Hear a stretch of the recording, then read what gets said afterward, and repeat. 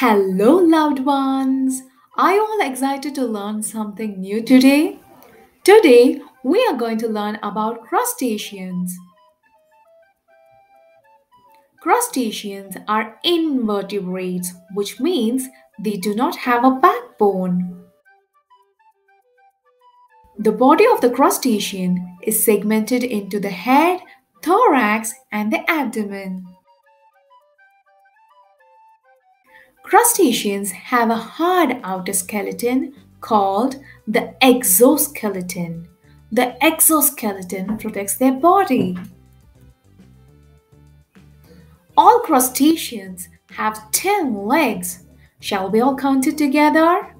One, two, three, four, five, six, seven, eight, nine, ten. Oh, yes, it has 10 legs.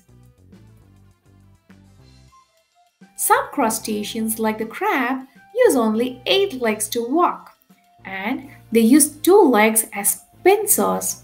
The crabs use the pincers for fighting and to seize their prey.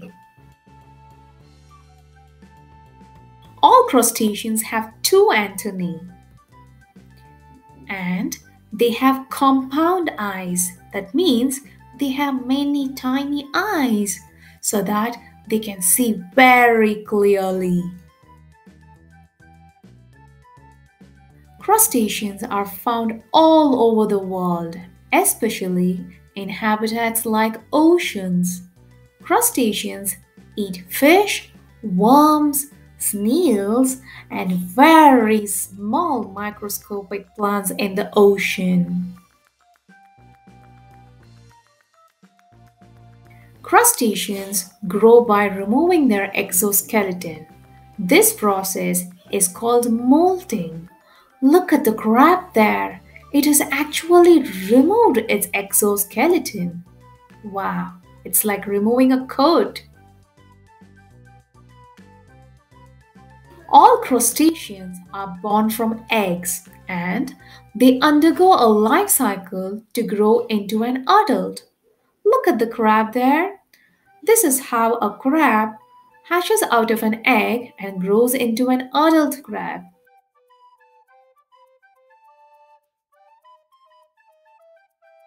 Now let's see the examples of crustaceans. Krill Krills are very small and transparent. Crab, lobster, shrimp, and crayfish.